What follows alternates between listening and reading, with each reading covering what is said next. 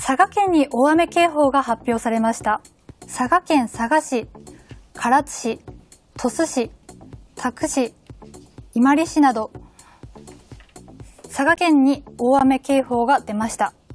いただいているリポートを見ていきましょう。佐賀県鳥栖市の方からいただきました。サーレベルの雨が降っています。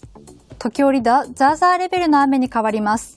佐賀県の方から、えー、雨のリポートをいただいております。こちら、雨雲レーダーとなっております。佐賀県を中心に見ていきましょう。この後、雨雲がこのように動いていきます。特にこの緑、黄色、赤の活発な雨雲が通過していきます。そのため河川の増水や道路の冠水にご注意ください。